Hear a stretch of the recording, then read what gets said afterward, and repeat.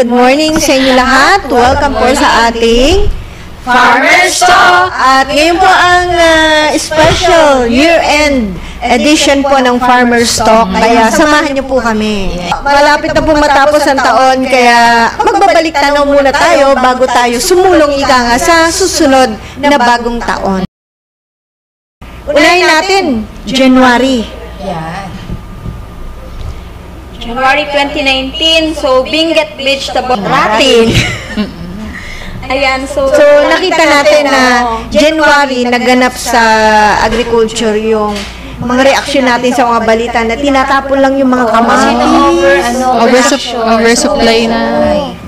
Mm, So, dami nasisira. Kaya nga, ay sa picture na yan, meron pong mga tinatapon na carrots, mga repolyo, yan. They are forced to throw kasi sobrang ang production na ang, alam nyo kung magkano na ang kuha sa kanila, piso. Yan, yan, yan. no? Pitong piso. Ang Ano ba pinang, ito? oo, disposing, yung mga ano yan, pipino. Pipino. Yun nga ano, yun nga kamatis, di ba, nabalitaan natin Yes. sa Laguna. Tinatapon na lang sa tabi ng daan. Ah, sabi nga nila, ba't hindi dalhin sa mga bilangguan para pakinabangan?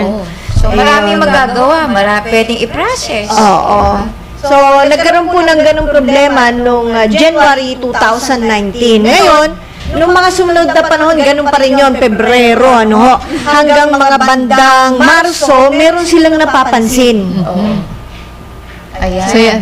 By April 2019, El Nino damage. Uh, the affected regions are 1, 2, 3, 4A, 4B, 5, 6, uh, 8, 9, 10, 11, 12, the Cordillera region, and the Bangsamoro region. Ayan, oo. So, lumabas na kabitak-bitak. Magmula, ano yun eh, nasusubaybayan natin sa balita yan. Magmula doon sa bandang itaas, Norte, Luzon, ano, hanggang sa pinaka-apare, ganon. Tapos bigla nagulat tayo, sa Mindanao may report na rin. Oh. Oo, ng mga damage. So, Abril po yun. Eh ngayon, nakaabot na na hanggang Mayo. Sabi nga, El Nino damage to agriculture sector hits 5 billion mark. Ayan. Laki pala, no? Kung saan-saan lugar po yan. Oo. Kita nyo ang mga report ng ah, media. Napakalaki yung epekto nito sa ating mga magsasaka. Sobrang tuyo na ng mga palay, yung lupa nagkabitak-bitak. So, yun yung area na talaga hindi maka, ah, kapag tanim, hindi makatuko kung anong halaman yan. Gusto nilang itanim. Yung ibang commentators nga sa mga radyo at TV, ang reaksyon nila, o yan, sumobra ang produksyon natin ng January, February, tinapon nyo lang ngayon, wala kayo, wala. Oo. Parang ngayon, balik na nature, ano? Ang mahal ng gulay kaya ngayon. Kaya nga, oo. So, yan po, Mayo hanggang Mayo, ganyan po ang naranasan natin. And then we go to June. June 2019, so nagkaroon naman tayo ng live weight price sa baboy. Sabi nga is down 30% yung binaba. Yan yung sobrang-sobrang baba ng baboy, tapos sobrang taas naman ng feeds. Yes. din yung time na tumataas yung ating pakain. So, wala tayong magawa kundi bumili na lang kasi wala nang makakain naman yung ating Kaya, alaga. mm So, lahat ng mga lugar, kanya-kanya silang angal. Nakikita natin sa Facebook, sa social media actually. So, talo ang mga nag-aalaga. At napapagbintangan dyan talaga yung mga mahango. Yes.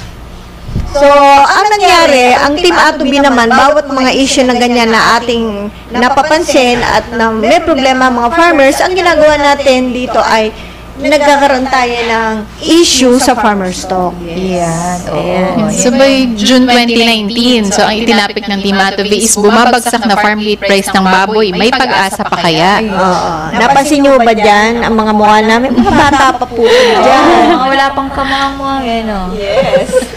Bata pa si Sabel.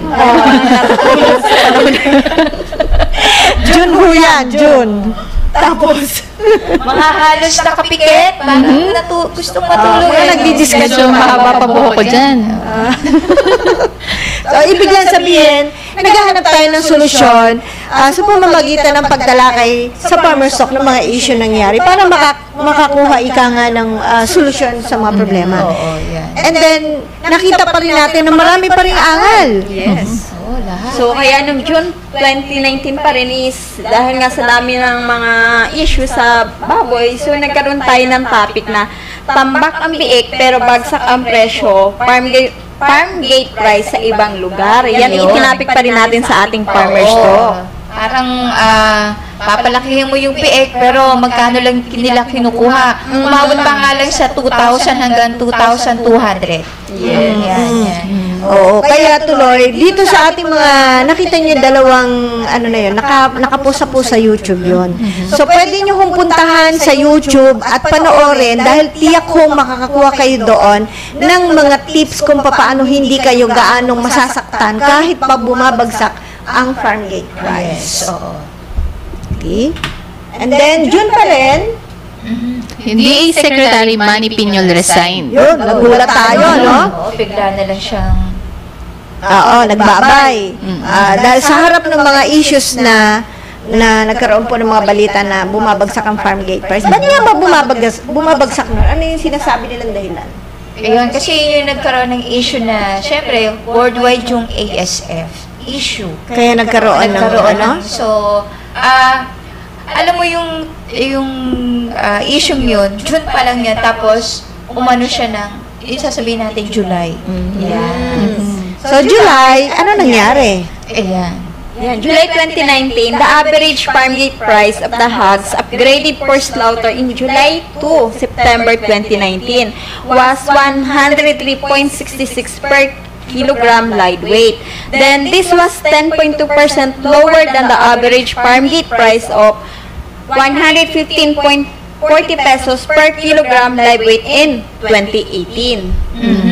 Yun ay binaba. Ang laki, no? Oh, From yan. 2018. Sobra. mm So, yan po ay katakataka sabi nga nila, ang pinagbintangan nila dyan talaga, yung mga humahango na siya nagmamanyobra daw ng presyo. Porket, papasok na tayo kasi third quarter na yan.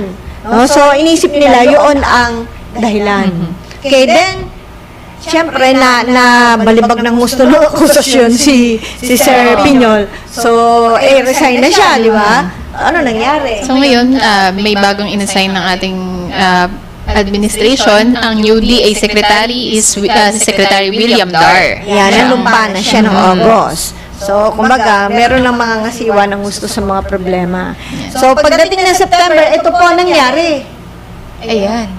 Yan, September 2019, so ito na din yung nangyari na naging topic din ng Team Atobi para makatulong din sa mga farmers natin at magbigay ng tip. Isa dyan yung mga naging title namin is Mga Namatayan at Pinasasarang Backyard Hog Grower, tayo na't mag-alaga ng pansamantalang kapalit na pagkakakita ang alagang hayop. Ayan. Ang lalapad pa ng mukha natin. Yan, ano? Para tayo mga patabain din eh. na-stretch tayo ng Kaya walang bumili, no? Yan is nagbigay tayo ng mga tips sa kanila kung ano yung mga pwede pa nating alagaang hayop para makatulong sa mga backyard natin. alternatibong solusyon. yung issue na talagang grabe yung pagkaka... ah at tawag doon yung Mga ban na sa mga lugar. Oo, na marami namamatay. Yan yung issue na sinasabi ko na kanina na ASF. Tapos sobra-sobrang baba ng live weight. May mga live weight na hanggang 80 to 90 pesos. Meron pang area na 60 pesos mahal lang. Yun nga lang sabi, grabe naman yung 60. Parang hingin na lang natin kaya yung Kaya, baboy. aha. Di ba? Mamigay na lang. Oo. Mhm.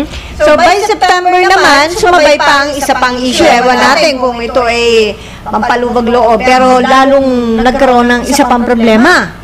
Yan. Sa pa- nung September 2019, ang problem naman natin is yung palay. Palay and farm gate prices hit low- lowest in 8 years. Ba? Ayun. Sa kauna-unahang pagkakataon, may nabalitang 7 pesos per kilo ang palay. pesos pa nga May daw 6 eh. pesos. Grabe, no?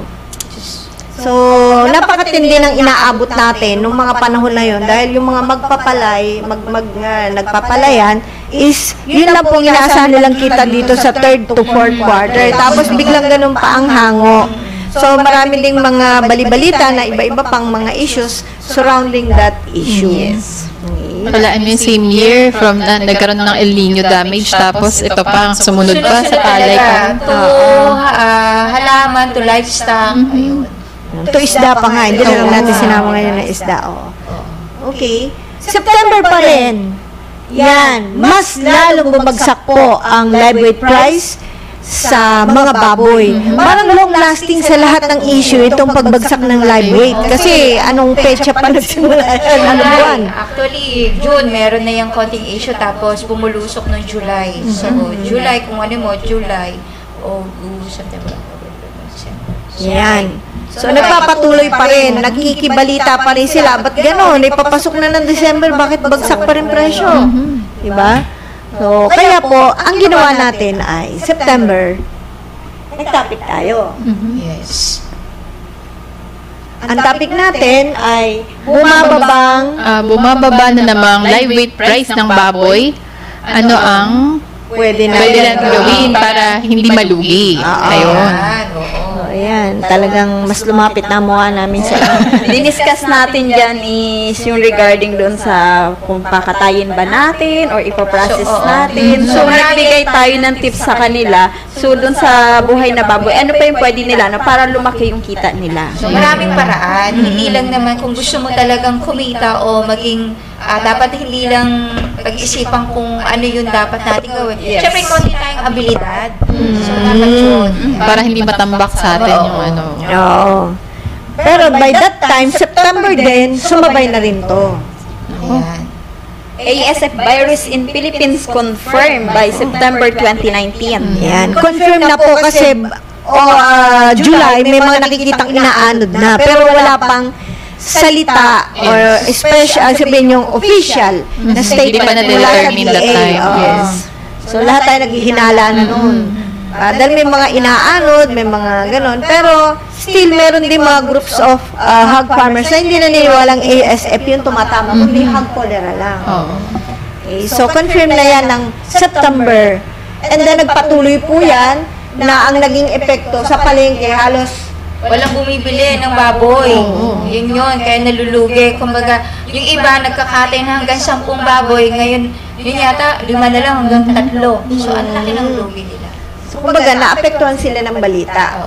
At the same time, pati naman syempre yung ang mga sumunod nangyari doon, may mga lugar na po na hindi na, na nadeklara na na hindi sila magpapapasok kundi yung kanila na lang ah, baboy hanggang doon na lang. Pero may, may kagandahan dyan. May mga iba-ibang groups o talagang mga NGO na nagpo-post na yung kanilang ah, alaga Yes. hindi naman infected ng ASF at saka kung ano naman ah, hindi nakakasira sa health ng tao. Yes. So may mga kita doon, maski yung mga government, di ba? May boodle fight, puro baboy, kumakain Yes. sila. Mm. Napakita nila.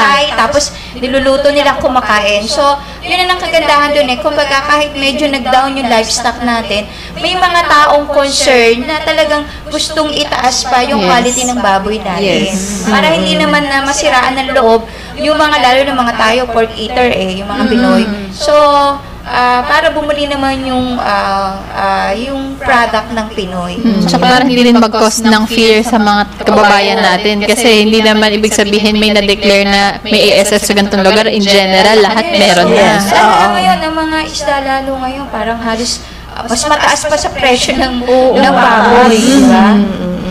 Kaya ang nangyari ng mga petsa na yon ay yung mga ah, ilang lugar sa bansa, ah, yung mga officials ng government is ano sabi nila, kukumpiskahin namin, babayaran na lang kayo ng ganito, hindi na pwede mag-alaga ng baboy sa ganitong lugar, may mga ganong consequences.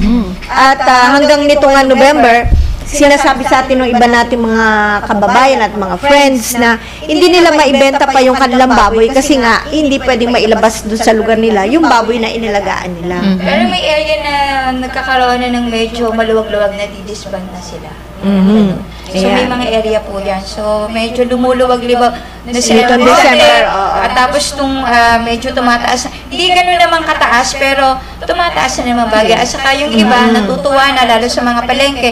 Medyo dati walang bumibili, ngayon marami nang bumibili. At dating ah, bili sa kanila 160 to 180 tumataas na po 220 na rin. Pero yung ibang palengke kahit bulusok yung issue na yan, hindi pa rin bumababa yung presyo nila ng 220. Pero Okay. ngayon, medyo gumaganda na daw at marami na bumibili. So, nakaka-recover na sila. Oo. Yun ang kagandahan. Mabuti naman na ganun yung nangyayari sa ibang lugar kasi nakakalungkot na may mga pinag-uusapan pa rin sa social media actually ng December 18 ah, so, bagamat November pa po, pa po tayo ah, sa ating ah, dateline ngayon ah, noong December 18 may nakita tayo sa social media na nagtanong na ah, ang tanong niya is magkano live weight sa Nueva Ecija so taga Nueva Ecija yung nagtatanong so may mga sumagot ang sabi niya siya taga Likab, Nueva Ecija din to, 130. Doon sa Gimba, Nueva Ecija din niya, 120. Eh, San Leonardo, 70. Ang baba, ano? ah, Santo Domingo, 85. Kumbaga, doon sa mga ganung paraan na nagtatanong sila, makakuha ka ng tip, ay, doon pala ako magbebenta kasi mukhang doon yung humahango doon, mataas ang kuha. Ngayon, may sumagot din doon na hindi taga Nueva Ecija. Batangas Kalatagan. Sabi niya, 75 dito sa amin. That was December 18 lamang. December ano ngayon? 21. Yes. Eh, Ngayon, dito naman sa Lingayen, Pangasinan, sumagot din siya. Kami dito, 110. And sa Isabela naman, 110. Sa Sambales, 110 hanggang 115. At sa Concepcion Tarlac, 80. Oh. Actually, bagsak ang mga feed mill doon. Ah, Sa Tarlac ah, ngayon. Oo.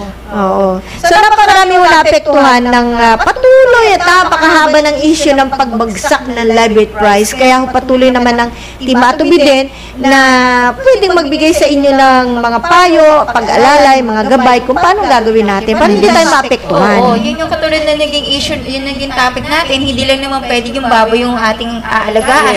Marami po tayong ba, ha- hayop na pwede nating alagaan at pagkunan ng pagkakakitaan. Yes. At the same time, hindi mo pa rin tayo bibitaw sa pag-aalaga ng baboy. Lalo na yung Tama. matagalan na nag-aalaga na 10 Tama. to 15 years. Na yun ang lagi ng ikinabubuhay. Nagpaaral, nagpatapusan ng mga anak dahil lang sa pag-aalaga ng baboy. Yes. At saka, di ba, pinapaliwanag din natin sa ating mga, ah, mga episode ng Farmer's Talk na yung, ano, itong, nagdumating man sa bansa natin yung ASF, pero hindi naman siya permanent na Oo, na- outbreak. So, Yes. pansamantala lang. So, parang, ano, ah, tayong mga Pilipino, encourage natin mga kababayan natin na, yun nga, na pag ipagpatuloy pa rin kasi temporary lang itong ah, pagsubok na dumating sa ating. Yes, oo. Saka hindi lang naman po yan na nangyari. May mga pangyayari pa na noong F- FMD, di ba? Yan. Tapos, ah, ah, sa manok, meron din tayong issue about that. Kasi, ngayon naman, napakaganda ng presyo ng ah, dre- ng manok, ng itlog. So, Eh, pa naman yung, pa naman ang ano natin, ayan, ayan. ayan o. O November, bumagsak ang ang, ang presyo ng itlog despite maraming supply. Yan, binalita po yan.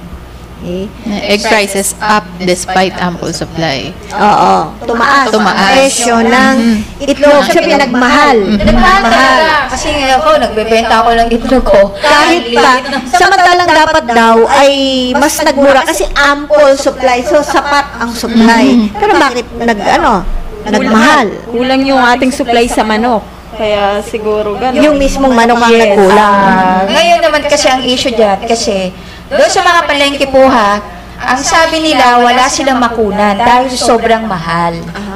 So, may pagkakataon din na kinokontrol din yung presyo ng itlog.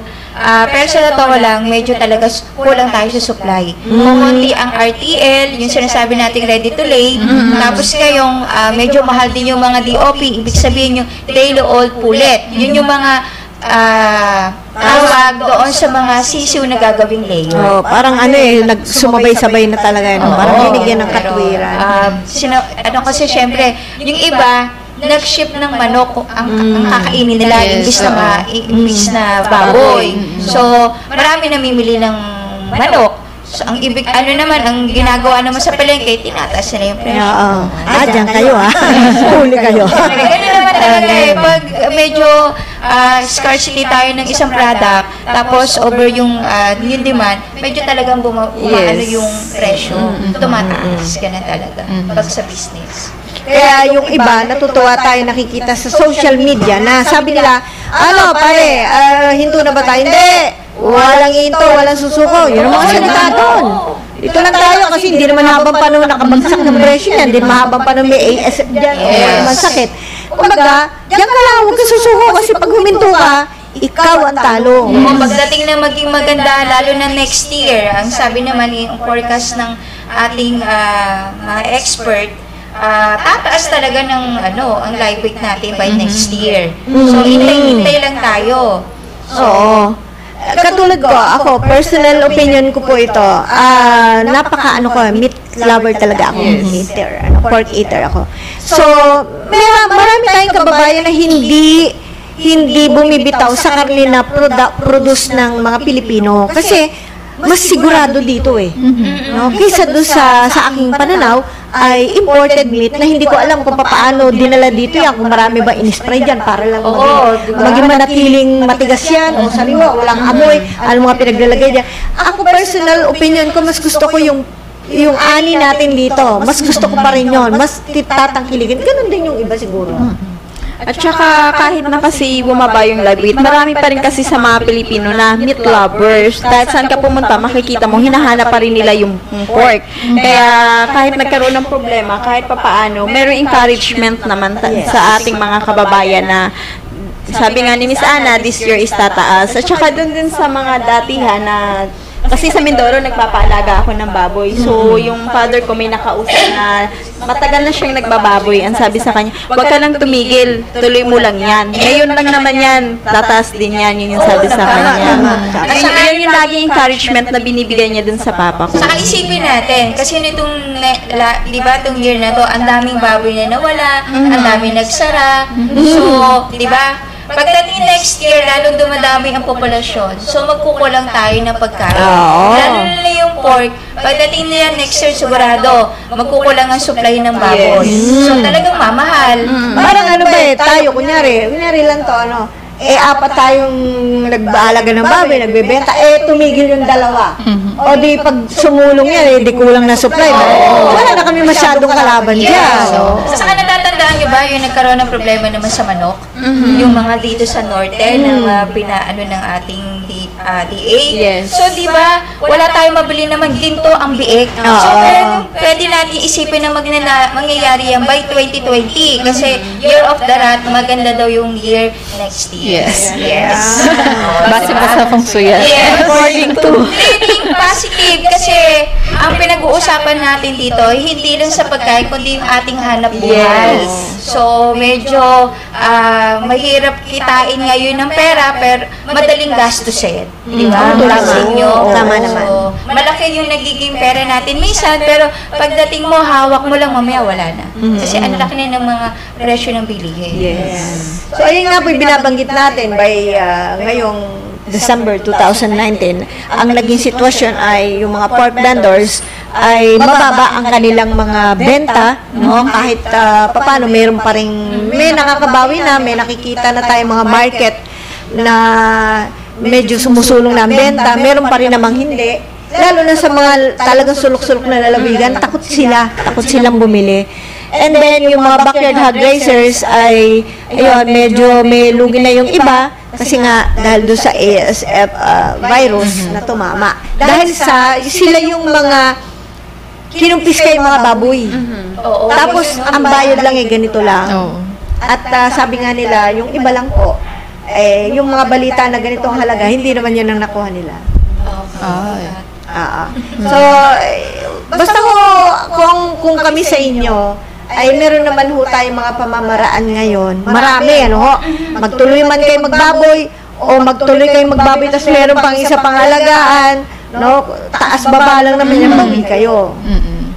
Saka hindi lang naman tayo magko-concentrate sa baboy kasi may mga pagkakataon ka- katulad ng sinabi ko sa ka- kanina, so yung manok, yung itlog, so pagdating ng next year yan, basta tataas po yan. So wag lang susuka. Saka kung tayo ay nasanay sa pag-aalaga ng hayop, so manatili po tayong mag-alaga at hindi lang naman yung alaga na pag ah, ng hayop, meron tayong mga ah, gulay, na pwede nating i-alternate, di ba? Parang integrated farming yung gagawin natin by next year. Yun. Yan. So, dapat siguro mga kaibigan, ngayon pa lang, bago pumasok ang bagong taon, nagpaplano na ho tayo. Kasi importante, di ba, sabi natin sa discussion natin sa Farmer Stock, importante yung may plano ka. Kung magsisimula ka, ano ang sisimulan mo? Ano yung gusto mong gawin na hindi mo pa nagagawa at gagawin mo na ngayon? Ngayon, pag gusto mo na siyang gawin, dapat may plano ka. Balangkas ka talaga, mag-draft ka. Ano bang kulungan ko? Ilang baba, magkano ba budget ko? Di ba? Saan ko ba ilalagay ito? Ah, saan ko ibebenta pag nag-harvest na ako? Kung yan ay hayop, kung yan ay halaman. So, lahat po ay daan natin sa recording, ano, um, ah, planning, and then lahat na po yan yung sa market, importante higit sa lahat yan kasi hindi po pwedeng ha-harvest na kayo tsaka kayo maghahanap ng bebentahan. Ayun. So, sa plano pa lang, mag-iisip ka na, ah, ito, para may nakita ka, yung kaibigan, ba, kaibigan mo, tapos ito pala nag ah, re-restaurant, nagka-catering, so kailangan niya ng manok. O, alam ko na, ilan yung capacity. May idea ka na, kailangan niya per week ng mga sampung manok, o di, para may idea ka, para yun yung manok ang aking aalagaan. di ba? Yung iba market ganun. mo, Oo. para para ma- ma-estimate mo rin kung gaano karami yung aalagaan mo. At saka importante rin yung budgeting, yung binigyan nga natin previously sa mga episodes natin, yung tips, ah, na ano, wag natin na parang wag nating pag magsisimula tayo ng negosyo, wag na wag tayo magsisimula sa utang. Yung parang inihiram natin, tapos yun ang pang-umpisa natin. Pwede kaya nyo muna. Start small. Yes. At saka kasabay sa pagpaplano, dapat din habang nagpaplano tayo, nag-a-attend na din tayo ng mga seminars, training, para kapag ka pinasok na natin yung ganung business, is meron na tayong kaalaman kahit papaano. At the same time din, is yung yun nga yung alam natin kung paano na pa, kung paano pasukin at hindi na tayo malugi. Sa um, sabi nga natin nung nakaraan, sa umpisa pwede kang malugi, sa pangalawa wag mo nang hahayaan. Pero kung malaki-laki budget mo at gusto mo na talaga malaga ng madami, eh mag-hands-on ka. Hindi lang Yes. kukuha ka ng caretaker para, oh, ikaw mag-alaga, gato gato Hindi po. Kailangan tayo pa rin personal na ikaw mismo ang magpuput ng business mo. Alam mo yung pasikot-sikot. Oo. Tama yun. So, lahat na po nung ating mga ganyang pagpaplano, pwede niyong balikan ang ating mga Farmer Stock live stream na naka-upload na po dyan sa YouTube. No? Meron din sa ating pages. Kapuntahan po ninyo. At saka nga dun sa pagpaplano, idagdag ko lang din, dun sa pagpaplano dapat at sa pag-aalaga, dapat daw samahan mo ng puso. Oo, passion. Ano ba yung puso ng Passion, nandun yung passion mo, nandun yung puso mo. Hindi basta nakiuso lang. Mm. Eh po, kung halimbawa next year, kung ano man yung inyong isusulong na, na negosyo, nandito naman po ang Team Matubi at pwede kayong sumangguni sa amin or bumisita dito po sa ating opisina or pumunta sa ating mga Facebook pages and groups and account. Yes. Okay, at uh, meron po tayong yes. So, ang ating po namang mga uh, wishes and balak na negosyo pwede nyong i-post ngayon. Ano ang magandang negosyo. Yes, ano maganda negosyo na gustong gusto nyo simulan? Maring next year na po, ano ang inyong feel na pasukin? Yes. Or gusto nyo pagbabago na gagawin kung kayo uh, uh, ongoing na po ang inyong mga negosyo, ano pa yung mga gusto nyong o balak nyong gawin. Pwede nyo na pong i-post ang inyong message about that para po meron tayong ika nga sharing of ideas and information. Opo. Ayan, tsaka let's hope na yung mga challenges na pinagdaanan natin nitong 2019, hindi na siya maulit ngayong 2020. At sana, yun nga, mas mapaghandaan natin kung ano man yung mga naging ah, outbreak noon, mas ready na tayo ngayon by this coming year. At saka pwede rin silang ano, kung ano yung mga gusto nilang itapik natin by next year, pwede din silang mag-post sa atin para mabigyan, oo, suggested, suggestion nyo para, para mabigyan din naman po namin ng time. Ayun, na maitapik. By the way, next year po, ang ah, ang farmer stock ay may bagong mukha. Yes. Oo. Hindi pa kami magpapalit ng mukha. Mukha ng pagbabago. Ah, so, yes. marami, marami kaming mga dagdag ah, impormasyon. Parang mag-iba tayo ng konti. Konti-konti lang. Pero pakikinabangan po ninyong tiyak. Yes. Opo. So, kailangan lagi kayong nakatutok sa aming farmer stock. Yes. And uh, tungkol po dyan, meron nga po pala tayong mga pagbabago din sa office hour para po uh, baka magulat yung pagdating nyo ay ah, hindi pa bukas, mga ganun. May, may pagbabago tayo sa business hours. Yes, starting January 2019, ang ating office January hours. 2020. January 2020, ang ating office hours is 8.30 ng umaga to 5.30 ng hapon, Monday to Saturday. And reminders to all na ang December 23 din po is half day lang po ang office ng Team Ato. Yes, Monday. So, last day natin uh, after uh, before Christmas, Yes. 23 last day po natin, half day. Half day. Okay. At, Ang uh, balik po natin ay yes. January At January, January to tentative. Ah, let's wait for announcement. Yes. Okay, so doon po sa ating mga kababayan na may mga mensahe, ano ba yung mga ayaw nyo rin maulit na naging aral sa inyo? Pwede nyo rin share sa atin, ano? And congratulations kay Carlo uh, Melendres na nag-share po. Thank you ah, for sharing yung kanyang mga manok na hinarvest. Kasi sabi nga niya, yung picture na pinost niya sa ating page and group and the account ay 38 days. At, at ang mga timbang ay 2.1 ang pinakamababa, yung iba pataas talaga. So, sabi nung iba, bakit 38 days? Sabi niya kasi, ugali ko kasi gusto ko 35 to 45 days mag-harvest kasi binibenta ko lang sa paligid dyan. Para malaki yung manok.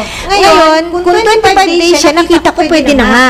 Pero ayaw niya. Ayaw Kaya ilang kilo mag-harvest. yung 25 days? Yung 25 days is nandun na sa timbang na 1.7, 1.8. Oo.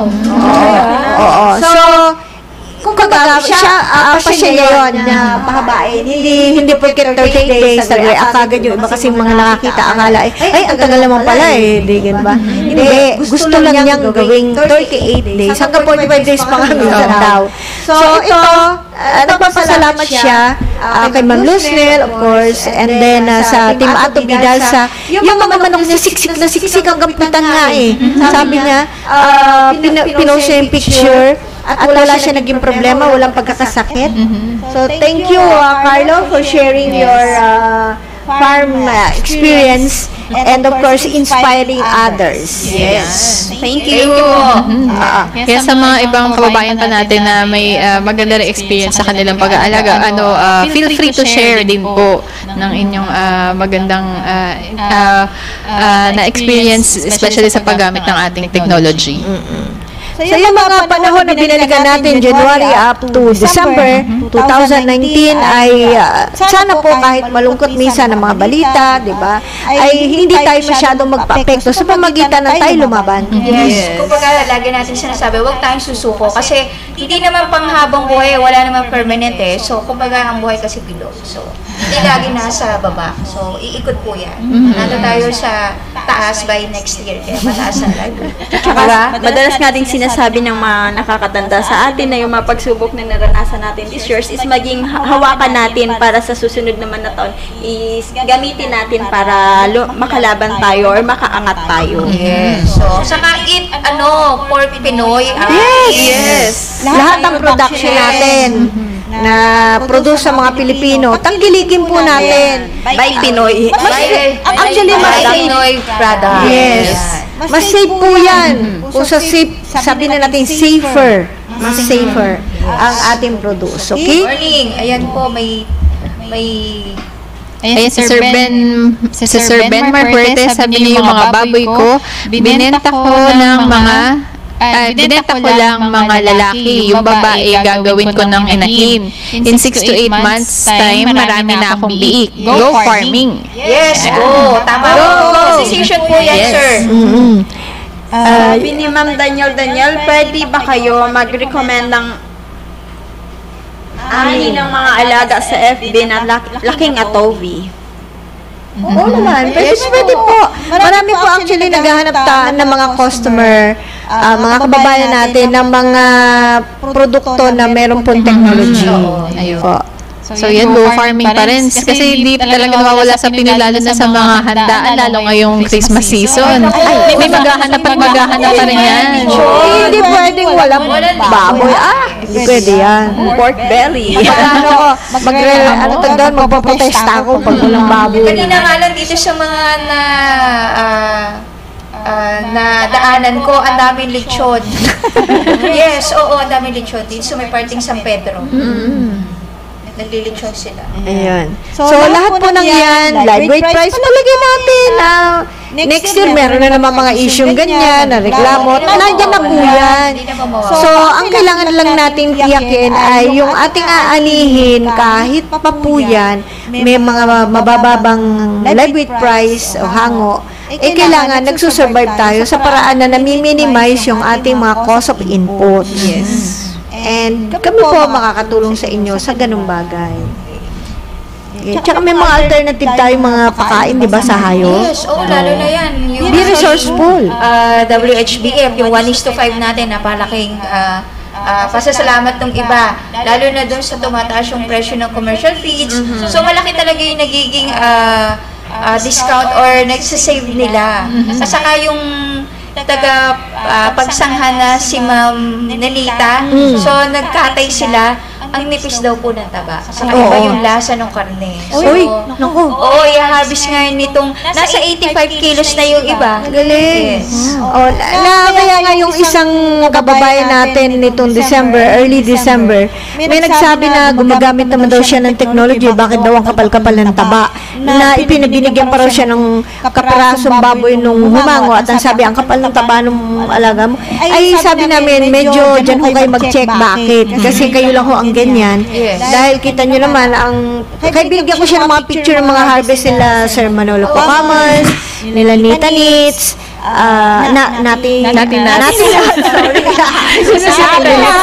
Napigil ako sabi ko, mali. Natin Natin Nuts. At saka sino pa isa, si Ma'am Daniel. Ayan, si Ma'am Nika. So, nakakapagtaka, bakit makabalang taba? So, i-check nyo yung mga sistema na ginagawa ng mga tauhan ninyo. Baka po may mali. Ayun. At sa lahat po ng mga suki, kaibigan, friends, ano ho, ng ah, Team Atubi, sa Facebook group, ah, mga nagtatangkilik sa atin. Yes, maraming maraming pong salamat. Yung laging sumusubaybay sa atin, yung lagi natin binabasa dyan na la, ah, every Saturday na nakikinig, nanonood. Maraming maraming pong salamat. At hiniling din po namin may 2020 pa ho tayo, may farmers talk po. Sana Huwag kayong bumitiw. tuloy po kayong manood ng aming programa. At saka yung mga OFW natin na pinapanood yung mga replay natin sa YouTube. So, maraming maraming salamat po. Thank you po. Ah, so, ayun na po, meron kaming mga message lang na iiwanan po sa inyo ah, or wish ah, bawat isa sa amin bilang pagwawakas po sa ating ah, special year-end edition ng Farmer's Talk. Siguro po ako, for, for me personally, ang wish ko po sa ating industriya ng agrikultura, paghahayupan at pangisdaan next year. Sana po ay mas lalo tayo magkaroon ng mga ah, dagdag na kaalaman sa gagawin nating negosyo para mas ah, mas informative, mas maganda po ang resulta kasi. So sana po hangad namin maging matatag kayo at ah, maging ma-inspire palalo sa ating mga edition dito sa Farmer's Talk na makakatulong po sa inyo. I just wish lahat kayo mag-succeed at kumita. Ah, sana po yung mga merong palayan, huwag niyo pong ibebenta. Yan lang ang, yan lang pong ano, Huwag kayo talagang- magbenta doon kay, ano, kay attorney. Basta po, basta po tuloy lang natin ang pagpapalayan dahil mahirap po na walang bigas ang mga Pilipino. sa isa't isa, mas gusto tulungan natin na iangat yung kabuhayan ng bawat isa.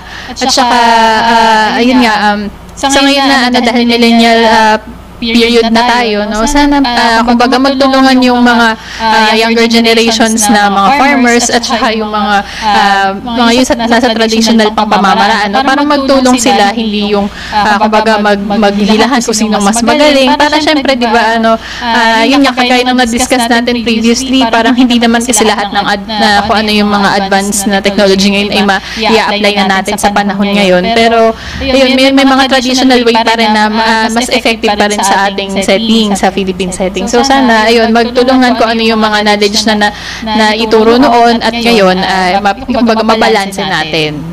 Yun.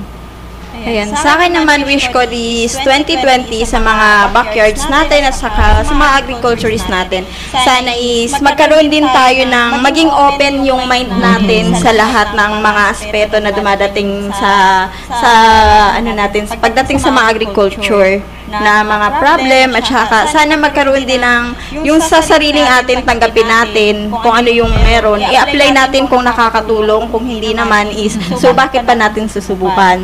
Yun. At saka sana maging ano din tayo, maging bukal din tayo na kapag ka nagkaroon ng problem like social media, so bago po tayo mag-react ng mga negative, isipin muna natin kung ano yung magiging epekto nito sa buong ban- sa bansa natin, sa magiging sa magiging kapwa natin mga magsasaka.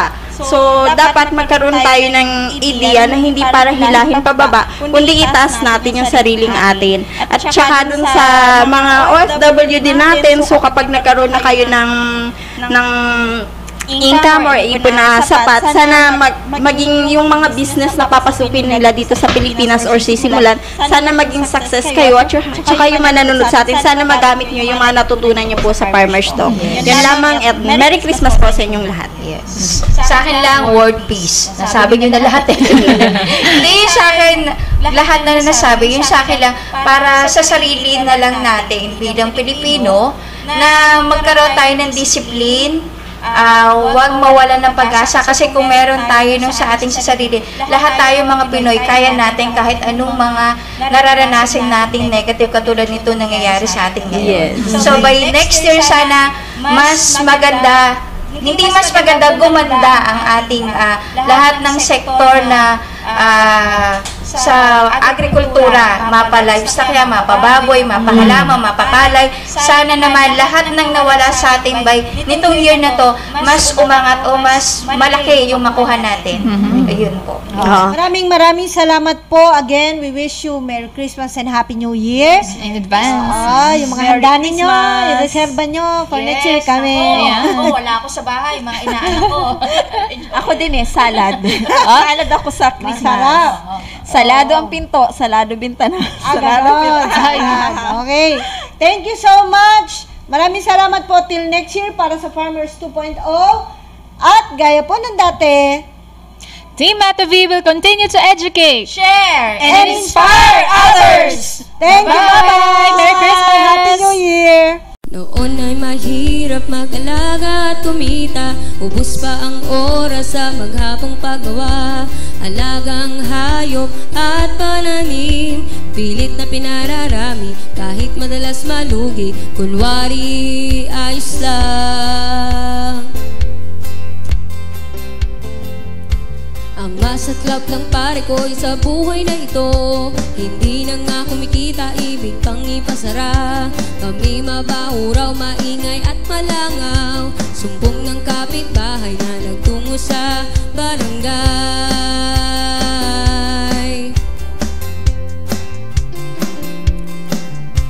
Dahil kailang kumain itong aking pamilya Hindi sumuko, hindi nanghina ang loob Determinadong ituloy Nasimulang kabuhayan Humanap ng solusyon Siguradong mayroon.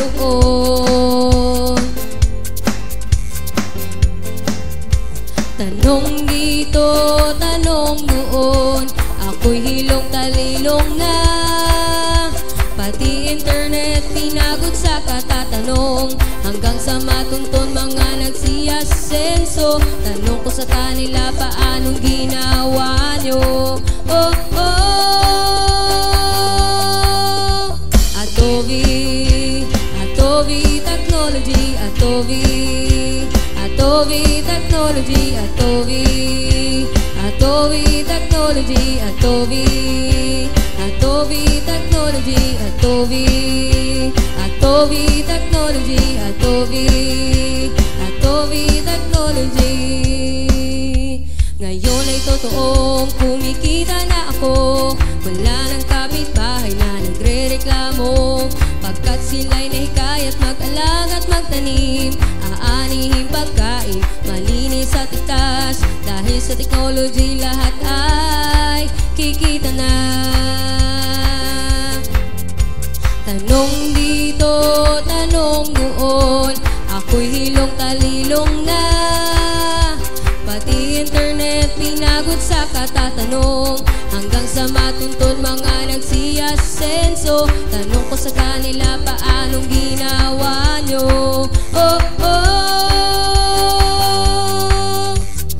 Atobi, Atobi Technology, Atobi, Atobi Technology, Atobi, Atobi Technology, Atobi, Atobi Technology, Atobi, Atobi Technology, Atobi, Atobi Technology. Sariling atin ata to, Atobi Technology.